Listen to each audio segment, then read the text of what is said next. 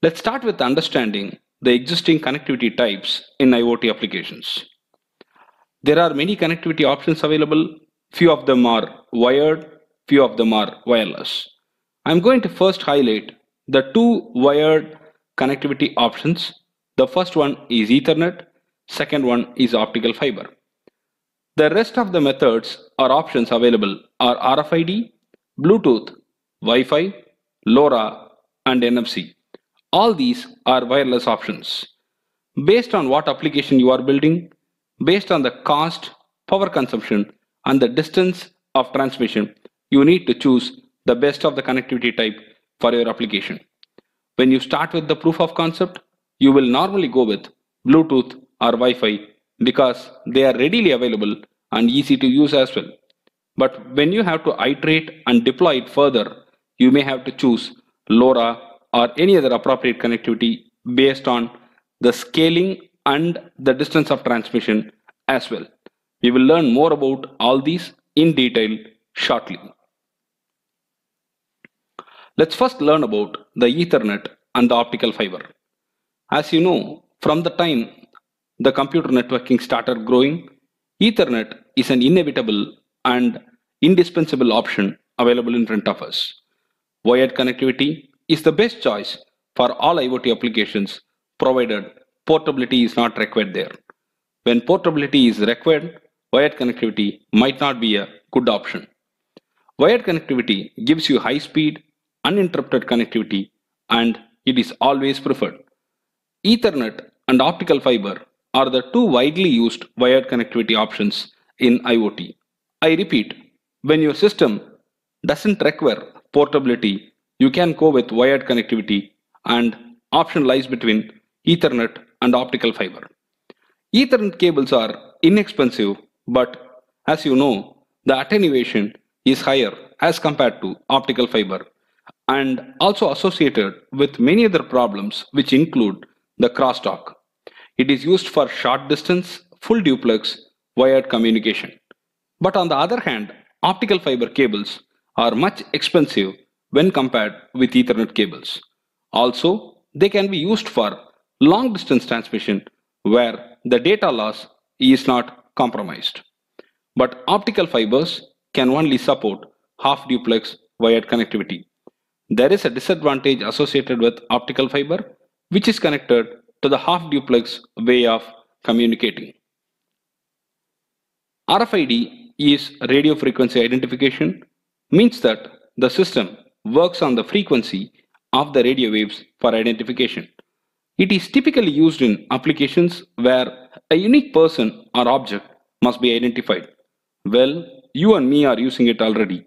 We have identity cards, we have library cards, all those are already RFID cards. Intuitive examples of them, which can include even the metro train tickets, which are actually the RFID labels. When you show the ticket, when you show the RFID card to the reader, the money can be automatically detected and this is a simple example that I can cite immediately.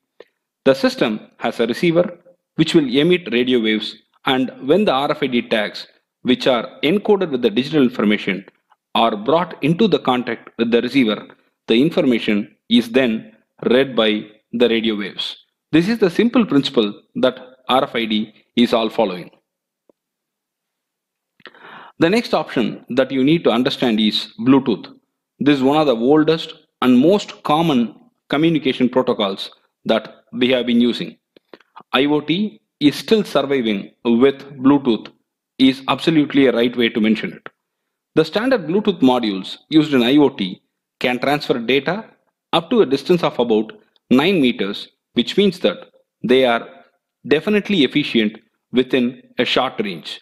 If the distance is long range, we cannot use Bluetooth.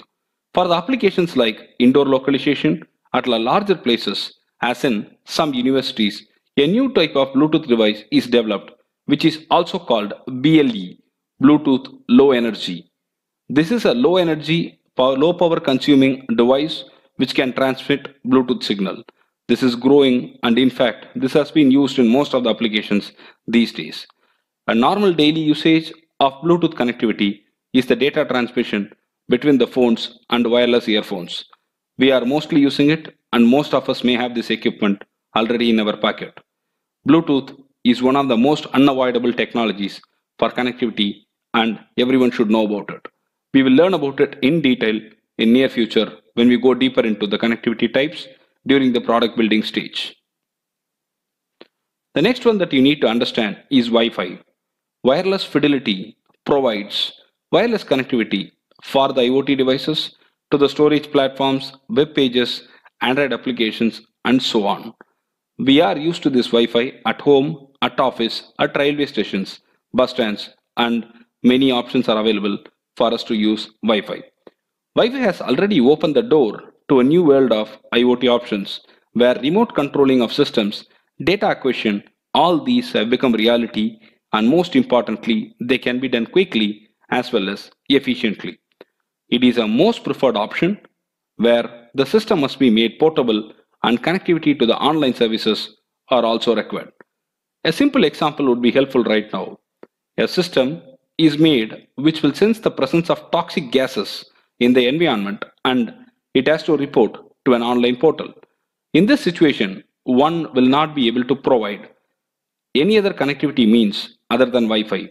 That's the best means of communication there and that's how the system could be built. We are all used to Wi-Fi.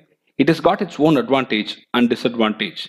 Range is definitely an advantage, but the chances of hackers to intrude into your system if the Wi-Fi is not properly protected is a definite threat. Also, if you are away from the access points, you might not get the 100% connectivity that you expect. So, first point, you got to be careful about the Wi-Fi you are connecting to. Second point, you need to be closer to the access point for you to get better and faster connectivity. The next one is LoRa. This is going to be the future people say. LoRa is long range communication. As the name suggests, this connectivity is mostly used for application where communication must be done over long distances. Data can be sent across a wider coverage range which include 2 to 3 kilometers even with LoRa. This is a stunning factor that we need to appreciate about LoRa. And this 2 to 3 kilometers can be covered without loss or corruption of the transmitted data. LoRa depends on the radio line of sight concept if there are no obstacles like buildings, trees, or any other means, the data can be even transmitted up to 5 to 7 kilometer distance. LoRa consumes more power for longer range transmission, which is seen as a disadvantage, but definitely for the distance that it is covering, this can be foregone. It is not feasible with low power IoT applications, but it is certainly useful for long range transmissions to cover longer distance at the same time to send data without loss or corruption of the data which is being transmitted. The next one to understand is NFC. NFC stands for Near Field Communication. NFC chips are most suitable to make payment services and most of the payment services these days are based off NFC. They contain data called SEID, Secure Element Identifier. This secure element identifier enables secure communication and data transfer between the NFC enabled devices and NFC. NFC is integrated into many applications these days. Some of them are NFC enabled earphones, NFC enabled televisions for screen sharing, NFC card payments, and so on. In future, this will find more application opportunities and we will be using it more. Wired connectivity versus wireless connectivity. It is time to understand the difference between these two. Wired connectivity makes the system less portable, whereas wireless gives you enormous freedom and you can move wherever you want.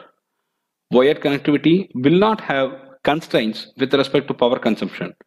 Wireless connectivity will have definite constraints with power consumption. The cost of the system is incredibly less as the cables and the connecting medium options available nowadays are inexpensive. When you come to wireless connectivity, the cost of the systems are very high because of installation of routers, access points, and other equipment. When you come to wired connectivity, the signals cannot be tapped and ensures higher security.